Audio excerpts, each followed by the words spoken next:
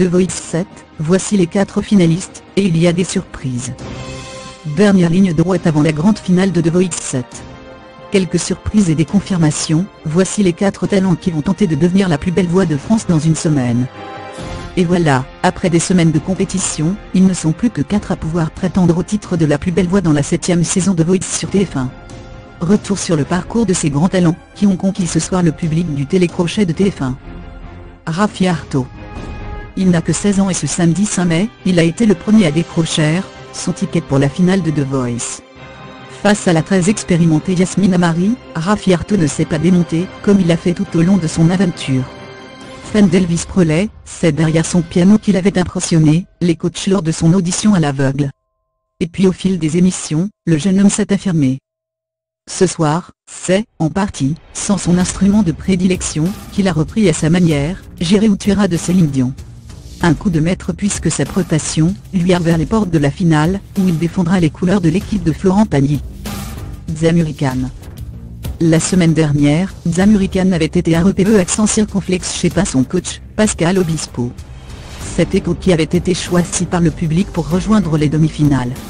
Ce soir la tendance s'est inversée, et c'est bien le chanteur explosif qui a reçu le plus de votes. Depuis le début de l'aventure, il est la bête de scène de The Voice. Pourtant ce soir, Zamurican a su montrer une autre facette sur et maintenant de Gilbert Bécaud. Beaucoup plus calme, le chanteur n'a quand même pas pu résister à l'envie de casser son pied de micro que son coach, aura bien tenté en vain de réparer sa promesse pour la finale. Mais elle... Mais elle sera-t-elle la première femme à remporter une saison de The en France? La jeune chanteuse de 17 ans a, en tout cas, tout pour s'imposer auprès du public, comme elle l'a prouvé encore une fois lors des demi-finales.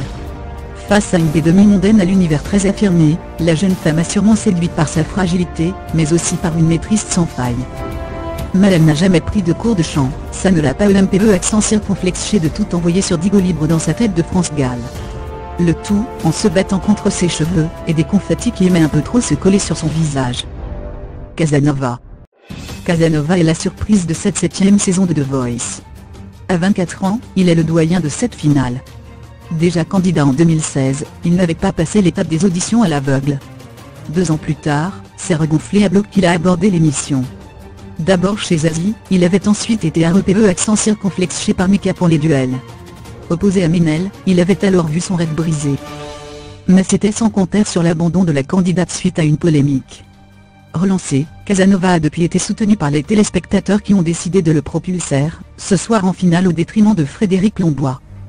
Mais la demi-finale de The Voice, c'était aussi un Nico superstar qui faisait des vidéos en direct de son smartphone sans les enregistrer. Un Nico qui a d'ailleurs montré l'une de ses faiblesses, son addiction aux réseaux sociaux. Rafi Arto a enflammé la scène sur une chanson de Céline Dion et il a prouvé qu'il avait l'envergure d'assurer sa première partie à la Vegas. Zamurican a shooté dans le pied de micro et ça a choqué tout le monde. Plié, le dit pied de micro s'est d'abord fait relever par Zazie, puis redressé par Pascal Obispo, qui a, par la même occasion prouvé que pour lui, une étagère Gluca à monter c'était du pied de chat, et enfin, examiné par Nico Aniaga. Heureusement qu'il n'a pas cassé une guitare, imbusé le rétroprojecteur. Frédéric Lombois et Casanova, ont livré une protation hilarante de la carioca, une interprétation tirée de la datation française de la Cité de la Peur, à l'origine, la danse vient de Flying Down Torio, un film de 1933. Et là, comme ça, Gérard Darmon et Alain Chabat étaient un peu sur scène, soudain.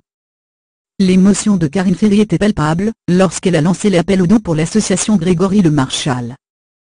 Après avoir été REPE accent circonflexe chez 36 979 fois, Casanova a été réélu face à Frédéric Lombois. Donc quoi? C'est le destin.